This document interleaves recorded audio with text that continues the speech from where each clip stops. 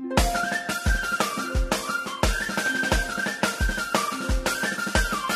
una batalla por comenzar entre los reinos del bien y el mal.